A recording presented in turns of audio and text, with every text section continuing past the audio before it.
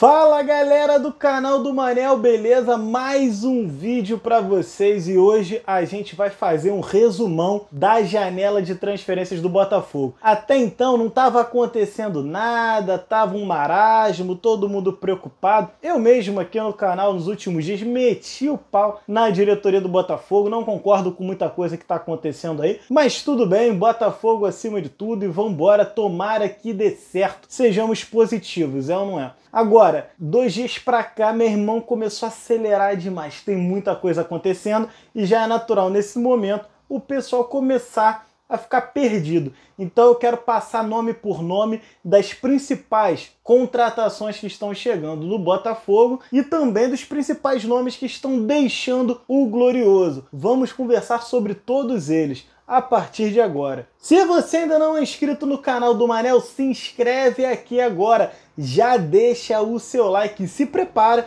para deixar aquele comentário maneiro para poder me dizer Tá gostando de quem tá indo embora? Tá gostando de quem tá chegando? Quais são os nomes que ainda não foram sequer especulados pelo Botafogo, mas que você, torcedor alvinegro, gostaria de ver jogando com a nossa linda camisa preto e branco? Pessoal, quero dar uma dica também para vocês muito importante. Aqui na descrição tem um link. Cliquem neste link. Esse link vai ensinar vocês a importarem produtos esportivos diretamente das fábricas do mundo inteiro. Você pode comprar camisas de futebol como a do Bayern de Munique, Barcelona, Real Madrid, Borussia Dortmund por preços incríveis. É sensacional. Você pode importar essas camisas para você mesmo usar e você também pode revendê-las. Cara, uma camisa dessa fácil custa numa loja hoje 250, 300 reais você pode comprar por preços do tipo 50 reais, 60 reais muitas vezes. Então você consegue fazer lucros aí de 150, 200%. É incrível essa dica. Clica no link aí embaixo que você vai aprender passo a passo como fazer isso. Vale a pena. Eu fiquei de cara quando descobri isso. Por isso que eu estou indicando para vocês aqui no canal do Manel. Agora vamos cair dentro do nosso resumão das contratações. Eu vou usar aqui meu caderninho, ó, porque é muita gente. E eu já vou começar pelo Gatito Fernandes. O paraguaio renova ou não renova? As últimas informações que eu tive sobre isso, inclusive de gente de dentro do Botafogo, tá? Isso é informação mesmo de fonte. Cara, Gatito tá pedindo uma grana que é muito acima do teto salarial do Botafogo. Eu acho que ele tá muito errado em adotar essa postura porque ele ficou praticamente 15 meses sem produzir absolutamente nada pelo Botafogo, dentro de campo, né? Que eu tô falando. E, pô, agora o cara querer engrossar, pedir um salário muito maior do que o dos demais jogadores, que carregaram o time na Série B dentro de campo, aguentaram pressão da torcida, pressão da imprensa e uma série de situações, não sei, eu acho que o Gatito ele tá adotando o caminho errado. Talvez ele tenha alguma proposta, ele é profissional e vai ver o que é melhor para ele e para a família dele. Obrigado, Gatito, pelos serviços prestados, mas se for por esse caminho, é uma grande decepção beleza? Então, acostumem-se com a ideia de Diogo Loureiro, pelo visto, pelo menos para o nosso primeiro semestre. É, galera, quem disse que 2022 ia ser fácil, estava redondamente enganado. Outro nome que parece estar deixando o Botafogo é o Gilvan. Na verdade, todo mundo estava dizendo que ele ia para o Guarani, mas de última hora ele fechou mesmo, foi com o CRB.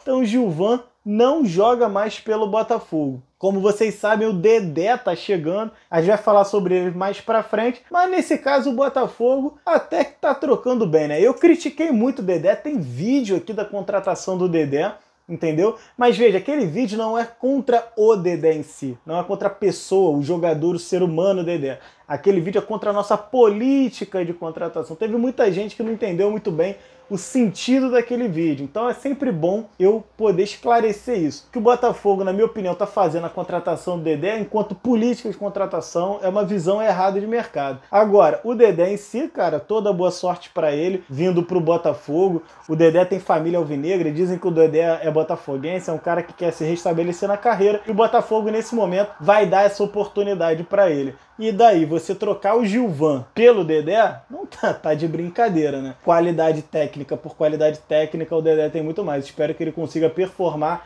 dentro de campo como ele já performou em tantas e tantas temporadas passadas aí na sua carreira.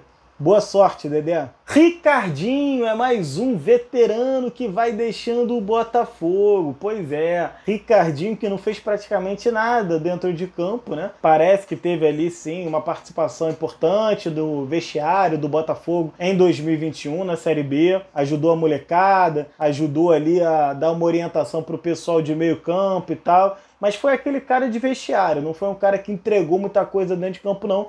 Por isso vai sem deixar saudade. Mas nada contra o Ricardinho, nunca fez uma declaração destratando o clube, desfazendo o clube, como geralmente alguns jogadores que saem do Botafogo fazem, muito pelo contrário, sempre foi um cara íntegro, correto. Todo mundo que fala sobre o Ricardinho fala muito bem. Então, cara, se é isso, Ricardinho, boa sorte aí na continuação da sua carreira. Infelizmente não vai ser no Botafogo para você, mas tenho certeza que você vai encontrar algum lugar legal aí para você poder continuar a sua carreira. Ricardinho, Gilvan, os experientes estão metendo pé. Marcelo Benevenuto. Bom, Benevenite todo mundo sabe, né? Que polêmica danada, gravei vídeo, vídeo pesado aqui também, vídeo polêmico. Então assim, gente, eu sou um cara que vocês sabem, né? Vocês que acompanham aqui o canal. Eu sou um cara muito racional, para falar a verdade, né? Eu procuro analisar o futebol da forma mais racional possível. E eu nem gosto tanto de entrar nessa questão das quatro linhas. A proposta do canal é a gente analisar gestão, falar sobre profissionalismo, clube empresa, falar do business do esporte, né?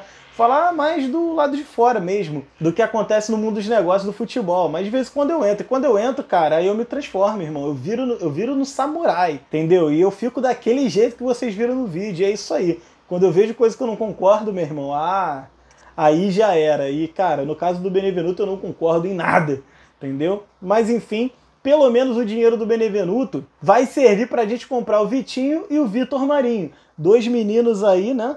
Que estavam na nossa base, parece que emprestados e tudo mais, e agora vão ser adquiridos em definitivo. Espero que esses jogadores vinguem e que o Botafogo consiga fazer muito dinheiro com eles no futuro para a gente poder pelo menos dizer que o Marcelo Benevenuto serviu para alguma coisa, né?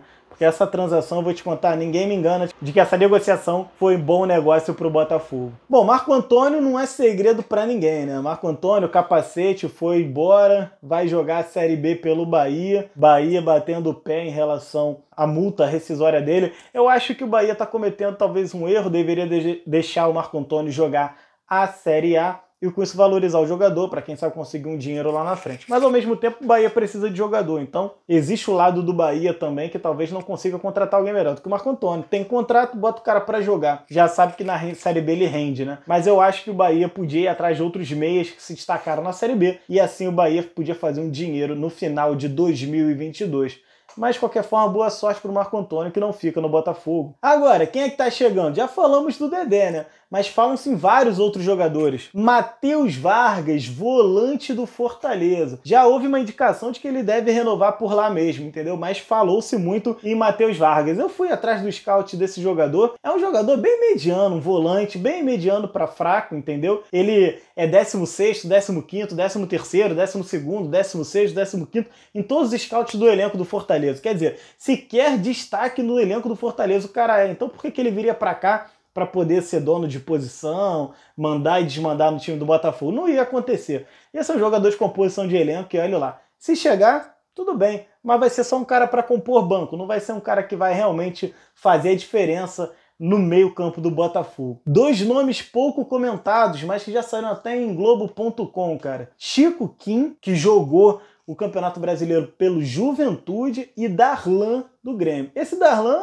até que gosta, hein? Chico Kim, confesso que eu conheço muito pouco, teria que pesquisar. Vou trazer os scouts dele aí depois. Mas, pô, o Darlan era um cara que se viesse, acho que caía bem ali no nosso meio campo, hein? Agora, um jogador que tá todo mundo querendo saber é o Oyama. Cara, o Botafogo ofereceu finalmente uma proposta concreta por 50% dos direitos econômicos do Oyama. Acho que dificilmente o Botafogo ofereceria uma proposta como essa se não tivesse tido uma conversa antes. Então, provavelmente, o Botafogo já ofereceu aquilo que sabe que o Mirassol deve aceitar e, portanto, o Oyama deve continuar no Botafogo. Todo mundo sabe que a vontade do jogador é a vontade do clube e o Mirassol também, justamente, quer algum dinheiro. E o Botafogo precisa fazer a parte dele, pagar. Então, o Botafogo está fazendo, Parabéns aí para a nossa diretoria que conseguiu segurar o Oyama, pelo menos até então. Vamos esperar fechar, mas parece que vai ficar. E aí eu vou soltar uma polêmica no final desse vídeo para vocês, hein? Diego Souza e Cortez estão dispensados do Grêmio. Será? Será que eles teriam espaço no time do Botafogo? Me conta aqui nos comentários o que, que vocês achariam de uma volta do Diego Souza. Jogou bem pelo Grêmio, apesar do Grêmio ter caído, hein? E o Cortez? Nosso eterno Habib, será que ele volta? Será que ele seria melhor na esquerda do que o Carlinhos? Sei não, hein? Acho que sim, hein? Mas será que ele viria dentro do nosso teto salarial? Dificilmente. Mas é um jogador também que está em final de carreira, talvez e por isso possa ficar. Você, torcedor botafoguense, gostaria de ver o Cortez com a camisa do Botafogo novamente? Gente, por esse vídeo é isso, esse é o resumão. Semana que vem eu trago mais resumões e eu vou vir agora com várias estatísticas de jogadores. Então aguardem os próximos vídeos. Valeu!